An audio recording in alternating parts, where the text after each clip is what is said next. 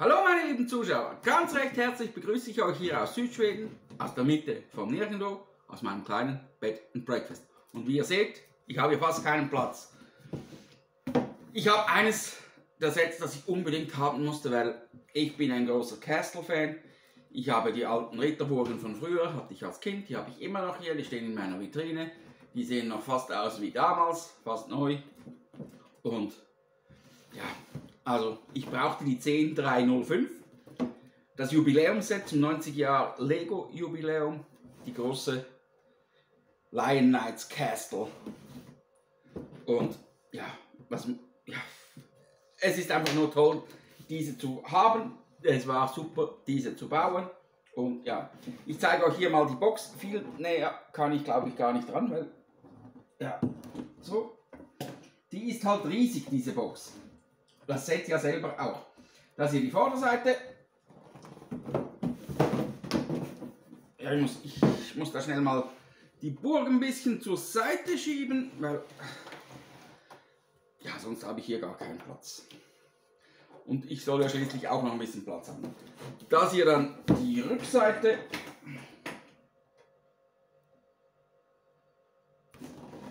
Hier sieht man die schon habe ich hier wieder was abgeräumt. Das ist, wenn man mit so einer großen Box hantiert, das ist nicht immer ganz so einfach. Hier sieht man die Figuren und da sind jede Menge Figuren mit dabei. Da habe ich 24 Stück oder so. Auf jeden Fall viele. Und ja,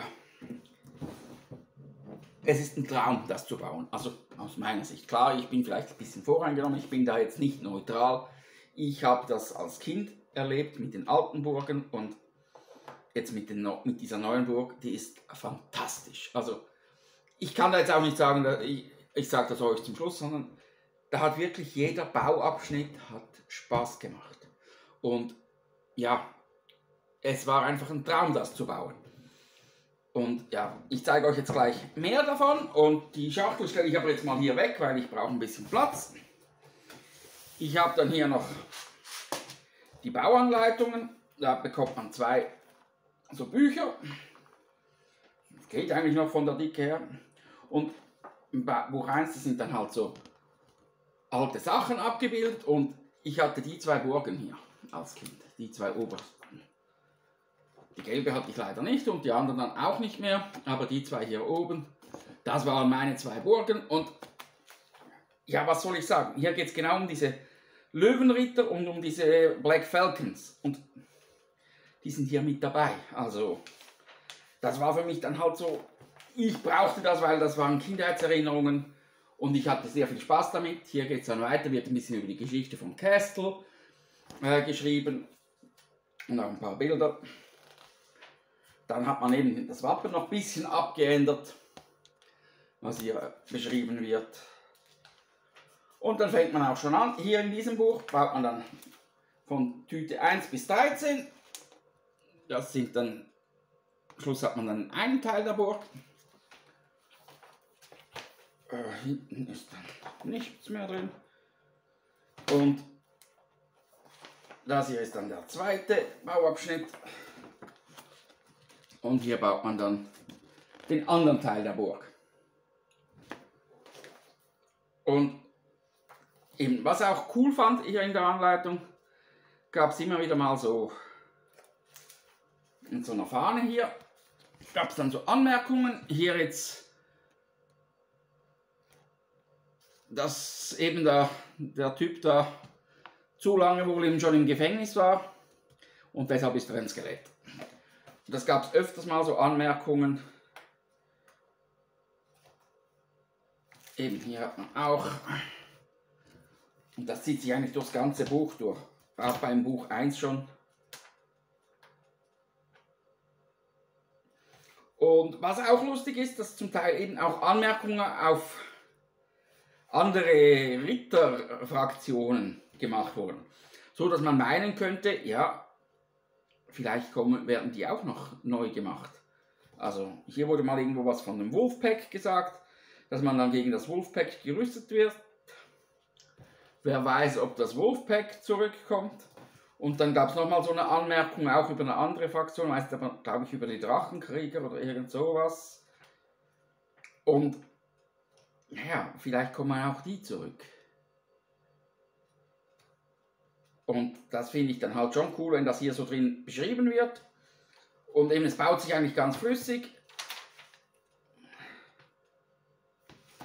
Ja, also es ist echt ein Traum zum Bauen man hat doch einige Teile pro Bauabschnitt dann zum Bauen und es ist hier auch keine Farbseuche oder so verbaut, also es ist eigentlich wirklich alles in, in den Farben, die man sieht, also in Grau, Dunkelgrau, Grün, halt für die Landschaft und halt Schwarz-Weiß und also es ist hier nicht kein Müll verbaut in dem Sinne, also keine rosa-roten Teile oder so, wo sie nicht hingehören, ich glaube es zumindest. Kann sein, dass am Anfang irgendwie sowas verbaut wurde, aber ich glaube nicht mal da. Nee, nee, auch da wurde mit Grün. Also eben wie ihr seht, da wurde auch am Anfang schon, die, der Untergrund wurde mit Grün gebaut. Und ja. Also es hat super viel Spaß gemacht. Das hier sind die Ersatzteile. Das ist doch eine ganze Menge, aber ist ja auch ein Riesenset. Das Set hat 4.500 Teile. Plus äh, der Preis ist bei 400 Euro. Ich habe das so gekauft, dass ich halt noch ein GWP dazu bekomme. Äh, und habe noch ein paar äh, VIP-Punkte dazu gegeben. Die hat man natürlich auch noch gesammelt. Und klar, es ist relativ teuer, aber ich muss sagen, auch wenn der Preis vielleicht, er kann immer günstiger sein, natürlich, aber ich fand es jetzt nicht überteuert, sondern für das, was man kriegt, und hier kriegt so viele Details hier drin, so viele Verstecke, ihr werdet das alles noch sehen. Und von, das her, von dem her muss ich sagen, doch, das, das rechtfertigt den Preis irgendwo durch schon. Und ja, fangen wir mal an mit den Tieren und den Figuren und, und dann komme ich später zum Schluss. Also, wir haben hier zum Beispiel mal eine Kuh. Die gibt es auch im, äh, in diesem Bauernhofset. Das ist schon mal ein Highlight im Prinzip, so eine Kuh zu haben. Stellen wir mal hier drüben hin. Dann haben wir, irgendwo ist noch ein Lämmchen. Dann haben wir die Tiere mal fast schon durch. Also wir haben ein Lämmchen und noch einen Vogel hier. Das Lämmchen gibt es auch schon im Bauernhof. Aber so ein Lamm kann man immer brauchen. Und der Vogel gibt es auch schon in etlichen Sets, also der ist jetzt auch nichts Neues hier. Und ja, dann fangen wir mal an mit den Figuren. Ich glaube, ich zeige euch da, ja, zeige euch immer zwei zusammen. Und ja, das sind Standardfiguren, eben ein Waldläufer, also ein Forestman und halt jemand, ein Junge, wahrscheinlich der Sohn der Königin. Und ja, also die Torsos eben, die gibt es schon in anderen Sets, das gibt es ja schon in diesem Neuauflegung des, des Waldverstecks und den Torso gibt es schon im, da gab es in der Minifiguren-Serie bei den Barten. Also das sind jetzt nicht neu erfundene Sachen oder neu gemachte Sachen extra für diese, also vielleicht schon für dieses Set, aber die wurden schon in anderen Sets dann äh, gebraucht. Dann haben wir hier zwei Black Falcons, und der eine hier, der ist ganz, den zeige ich euch ja separat, der hat so viel Gepäck. Der hat eben dann eine Fahne, also eine Flagge und ganz normale Ritter. Das sind die gleichen, die es schon in der mittelalterlichen Schmiede gab oder bei diesem Schloss. Hier haben sie jetzt schwarze Helme. Und dann gibt es den hier, der ist zugepackt und erinnert dann an Monty Python, die Ritter der Kokosnuss. Da gab es auch so einen Ritter, der auch so alles schleppen musste so wie ich mich erinnern mag. Und ja, das ist doch schon recht cool. Ich zeige euch jetzt auch nicht alle Gesichtsausdrücke, sondern ja, das, das würde sonst zu lange gehen. Müssen da, also eben, müssen da mit diesen Figuren schon mal durchgehen, so wie es halt geht. Dann haben wir hier rechts, also näher von eurer Seite aus links gesehen, den Bäcker und ein Waldläufer Mädchen ist ein Kind und der Bäcker oder Koch oder was auch immer das halt dann ist. Der hat übrigens die gleichen Kleider, also die gleichen Torso und Füß, Beine wie der Schmied der mittelalterlichen Schmiede von der Ideas-Reihe. Ja, dann haben wir hier noch so einen Heuwagen. Der ist auch cool gebaut. Das ist einfach so mit Fähnchen hier, die man hier dann so hochgeklappt hat. Und dann die Räder dran. Den kann man bei der Kuh oder auch beim Pferd mit dran machen. Ja. Mal schauen, ob ich da noch mehr Figuren habe. Hier drüben. Dann haben wir hier noch einen Zauberer und einen Bauer. Und hier muss ich sagen, beim Zauber, da haben sie, ja, da haben sich gar keine Mühe gegeben.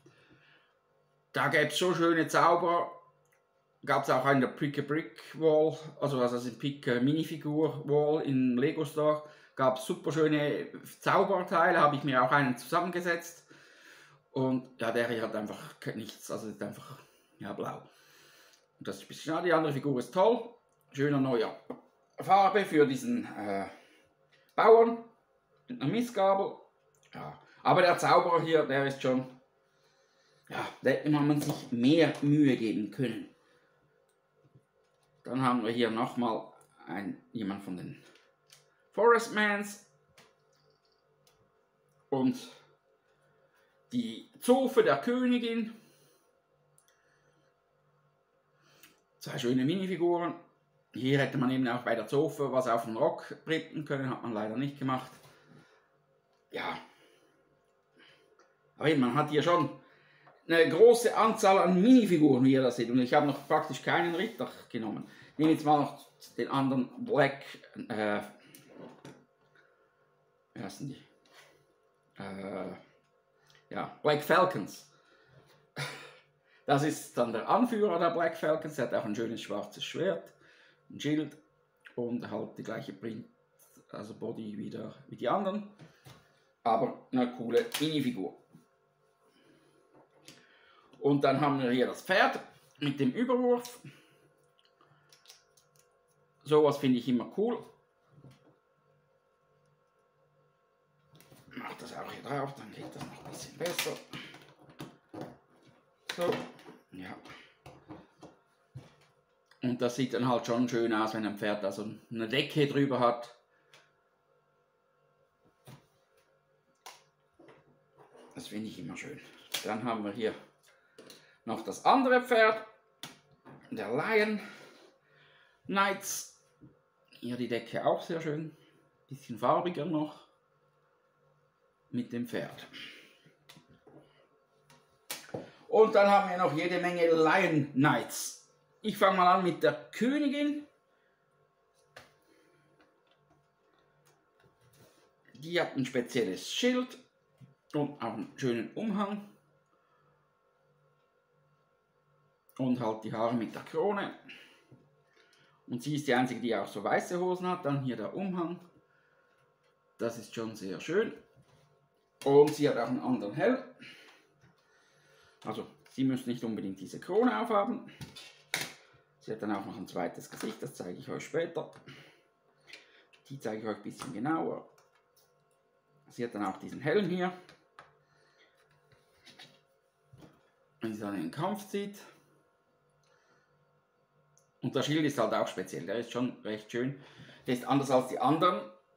Und ja, ich nehme jetzt hier aber mal die Sachen weg, also die Rüstung und den Umhang nehme ich mal weg, weil sie hat auch einen anderen Print als die normalen.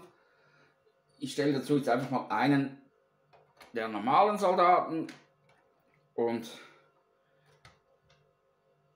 ich weiß nicht, welchen Kopf ich hier schon gezeigt habe. Und das sind dann schon zwei verschiedene Bodyprints. Von der Seite. Aber auch von der Rückseite sieht das dann schon ein bisschen anders aus. Also bei der Königin ist dann schon alles noch ein bisschen pompöser als bei den normalen Soldaten. Das soll ja aber auch so sein, weil der König oder die Königin ist ja auch ein bisschen spezieller und darf da gerne ein bisschen pompösere Sachen anhaben als die normalen Soldaten. Ich mache jetzt hier die Sachen wieder dran, nicht dass sie verloren gehen. Und ich finde es aber mit Haaren fast besser. Dann erkennt man das auch. Sehr gut. Den habe ich euch schon gezeigt. Dann haben wir hier natürlich noch weitere Ritter mit lustigen Ausdrücken, Gesichtsausdrücken, aber die haben, glaube ich, alle den gleichen Körper, aber andere Bewaffnungen. Ja, die hat noch ein Fernglas in der Hand. Oder so eine Trompete, ich weiß nicht, was das wirklich sein soll. Ja.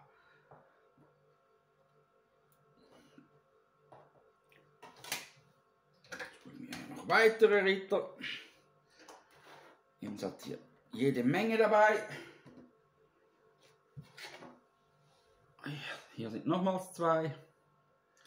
Und ich finde eben, es kann nie zu wenig Ritter haben. Also die sind auch alle bewaffnet oder man kann da, es hat da zwei, drei Waffenkammern, wo man die Waffen wegnehmen kann. Hier ist noch einer. Ja, es sind noch einige. Jetzt beim einen habe ich die Haare weggenommen. Ja, der eine hier hätte Haare gemäß Anleitung, der hat aber schon einen Helm bekommen. Aber ich weiß nicht mehr welcher. Spielt aber auch keine Rolle. Die Haare liegen jetzt da, wo der Helm war. Aber eben, das sind super schöne Minifiguren. Und eben so eine große Burg braucht ja auch ein bisschen Bevölkerung und ein bisschen Ritter, die die Burg verteidigen. Hier ist noch einer. Und ja, das war's dann, glaube ich. Das war das glaube ich der letzte. Vielleicht kommt noch irgendwo einer raus, ich weiß nicht. Es sind so viele. Hier nochmal einer. Ja. Was ich allerdings bemängeln muss, bei diesen Rittern sind sehr viele Frauen dabei. Und das gab es früher nicht. Nee.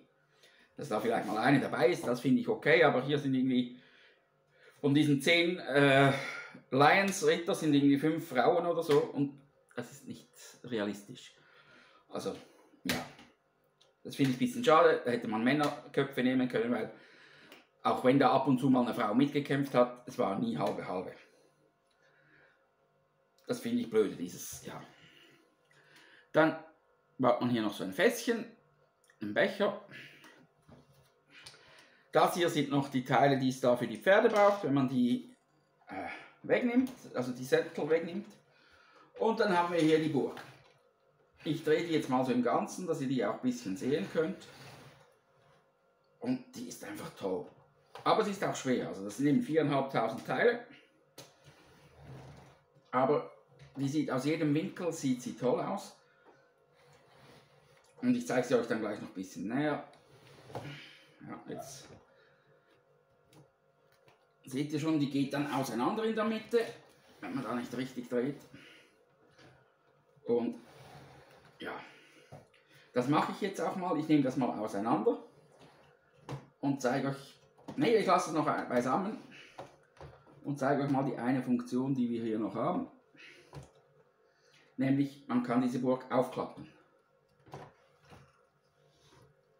Ich schaue, dass das hier eingehängt ist, so. Und kann dann diese Burg aufklappen. Hier ebenfalls und hat dann schon eine riesen Festung. So sieht dann das von vorne aus. Ich hoffe, ihr seht das auch alle. Es ist halt riesig, wie gesagt. Ich, kann, ich drehe es mal um jetzt. Das geht auch irgendwie.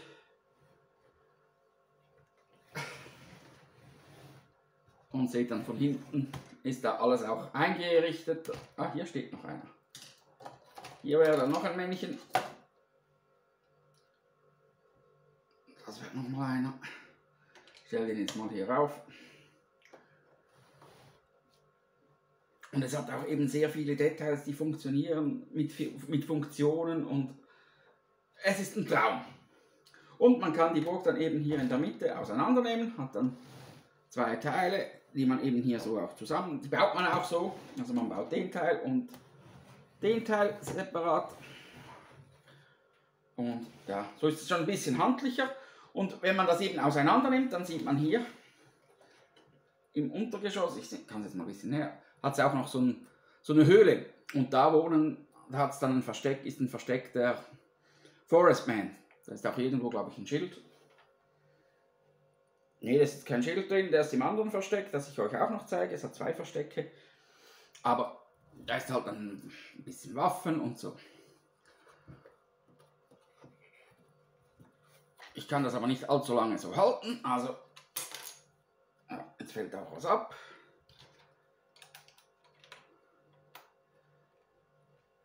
Es ist auch nicht so gedacht, dass man das so herumtragen sollte die ganze Zeit.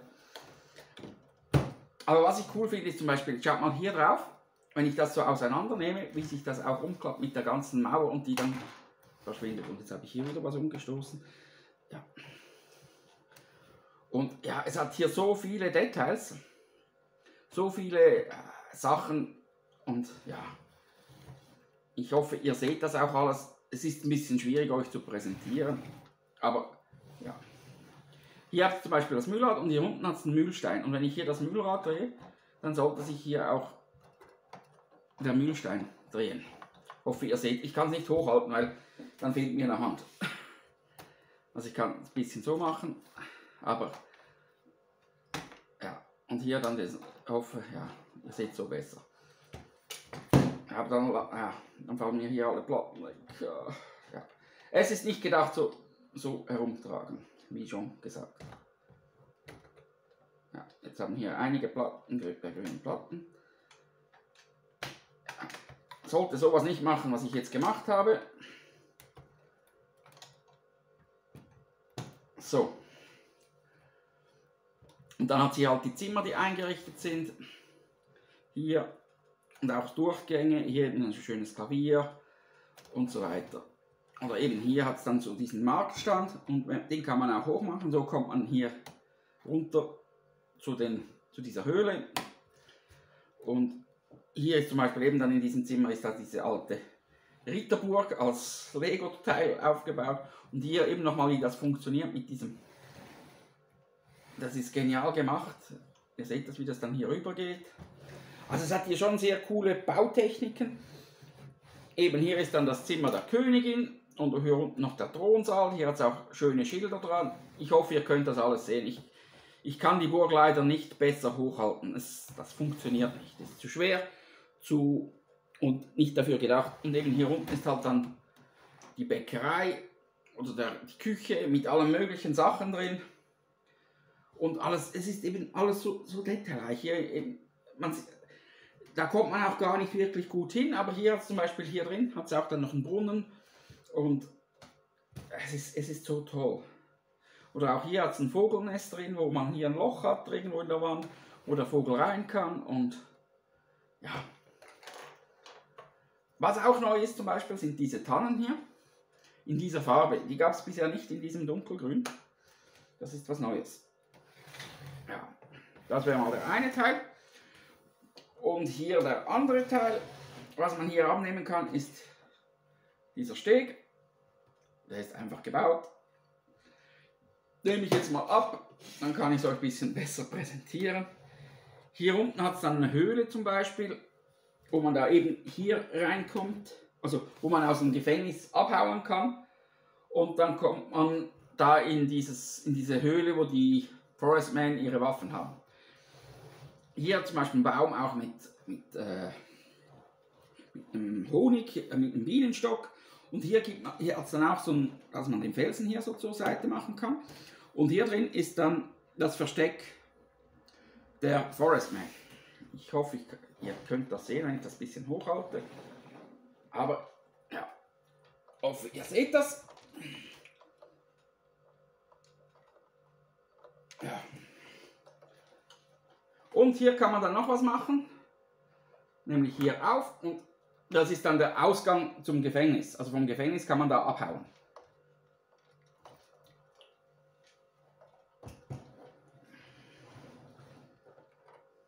Ich mache das jetzt wieder zu. Das sind ja Geheimgänge, soll ja nicht jeder wissen. Und eben man kann diese, diese Burg hier auch auf, äh, hier aufklappen, natürlich auf der richtigen Seite, sonst funktioniert es nicht. Und eben auch hier hat sehr viele Details. Waffenkammer mit allen möglichen Waffen und ja, was hat hier noch? Ja, hier das Eingangstor, unten die Zellen, Dann hier eben die Waffenkammer und noch eine Schatzkammer. Und hier oben in dem Turm, da ist das Klo. Und hier unten hat es einen braunen Frosch. Und da wird auch gesagt, ob der Frosch wohl immer braun war oder ob er einfach da war, als jemand auf dem Klo war.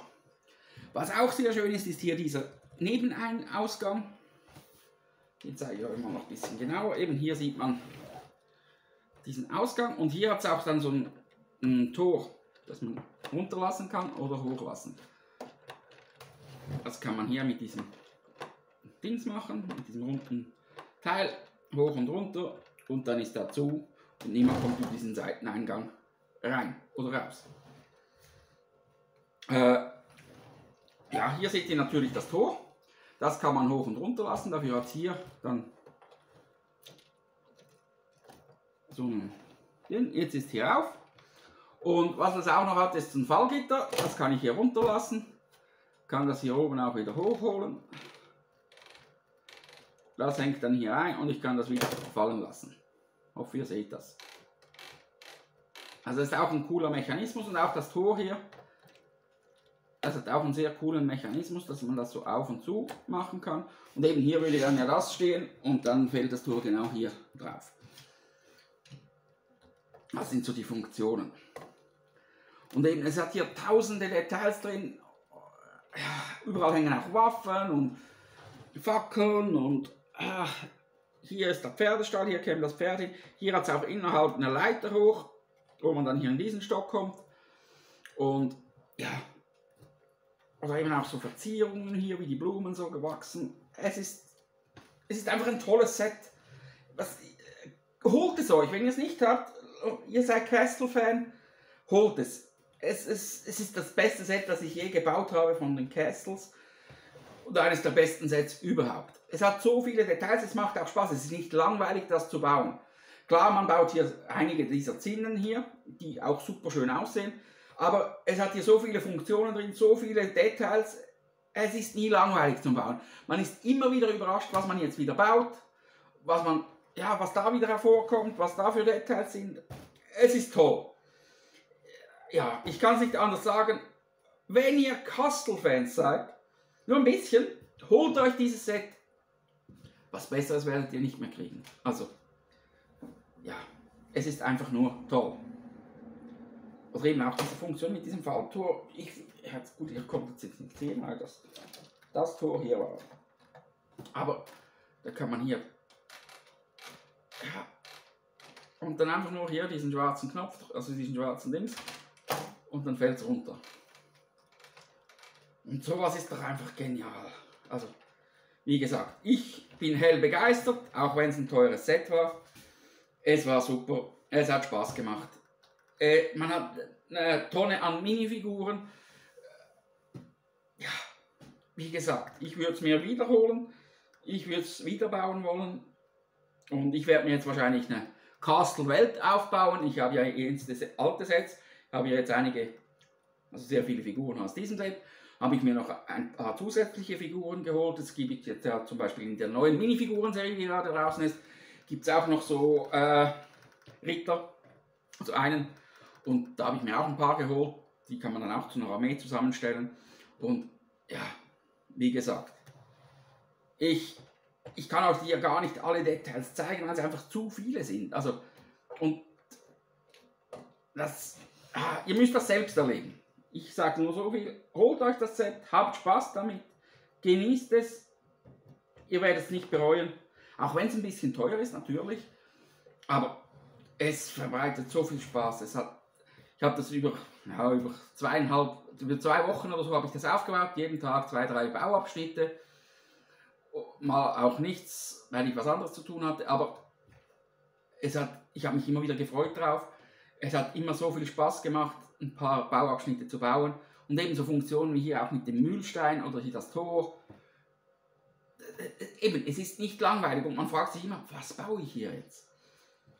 Und auch hier das hier hinten mit diesem Tor. Diese Fun es funktioniert halt alles und alles sehr gut und es ist super schön, wie gesagt. Ich kann es euch nur empfehlen. Ja, wie findet ihr dieses Set? Habt ihr es auch? Holt ihr es euch noch? Schreibt mir das gerne in den Kommentaren, würde mich interessieren. Äh, ja. Und wenn ihr Fragen zum Set habt, gerne Fragen. Äh, ja. Es hat wirklich. Es ist eines der besten Sets dieses Jahres, das bestimmt. Für mich vor allem auch wegen, der nostalgischen, wegen dem nostalgischen Faktor, weil ich diese Burgen früher hatte. Ich hatte diese zwei Fraktionen als Ritter, als Kind. Und es macht einfach Spaß. Und ich baue mir jetzt eine Ritterwelt. Ich hoffe, das wird richtig cool. Äh, da kommt auch der neue, das ba Baumversteck, der Waldläufer kommt da irgendwie drin vor. Ob ich die mittelalterliche Schmiede auch mit da reinstelle, weiß ich nicht. Die sieht fast ein bisschen zu groß aus hier für dieses Schloss.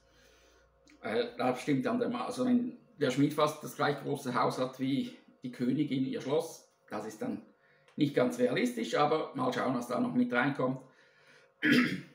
Und ja, ich habe ja auch an der Pick a Brick Wall oder an der Pick äh, a Minifigur Wall in, im Lego Store habe ich mir da ein paar so noch andere Falkenritter Ritter geholt und die werden hier dann auch mit in dieses Diorama eingebaut. Und ja, da freue ich mich schon drauf. Ja. Aber eben, man muss schauen, ob man das Teil anfasst, weil sonst ruft man irgendwo was ab. Und es ist halt eben schwer. Das ist so. Aber es ist, es ist gigantisch, es ist super. Ich hatte super Spaß. Falls euch das Video gefallen hat, falls euch dieses Set gefällt, gerne ein Like, also einen Daumen nach oben hinterlassen. Gerne auch ein Abo dalassen, damit ihr keines meiner Videos mehr verpasst. Das würde mich sehr freuen. Und ja, in dem Sinn, ich weiß gar nicht, was sagen. Habt Spaß mit, den, mit diesem Schloss, wenn ihr das auch habt. Erfreut euch daran, wenn ihr das mal bei jemand anderem seht, also die Möglichkeit habt, das zu anzuschauen oder auch in einem Lego Store, wenn es da ausgestellt ist, schaut es euch mal genau an. Und ja, ein richtiger Castle-Fan wird nicht darauf verzichten können. Der braucht das. Das, es ist einfach toll. So viele, auch das Versteck hier, ja, es gibt so viele Details und das ist das, was Lego ausmacht, das ist was mein Spaß und der Bauspaß war riesig. Auch wenn einige vielleicht sagen, ja, ist ja nur eine Burg, das sind nur Wände, die du hoch siehst. Nee, ist es nicht. Da sind Details drin, da sind Funktionen drin, es ist interessant. Also, ja, ihr seht, ich bin begeistert. Aber ja, ich könnte jetzt auch noch zwei Stunden darüber diskutieren, wie begeistert ich bin und euch noch weitere Details zeigen, aber ich glaube, das bringt auch nichts. Ihr seht es hier vor euch stehen. Es ist eine tolle Sache und ja, genießt es, habt Spaß und bis bald.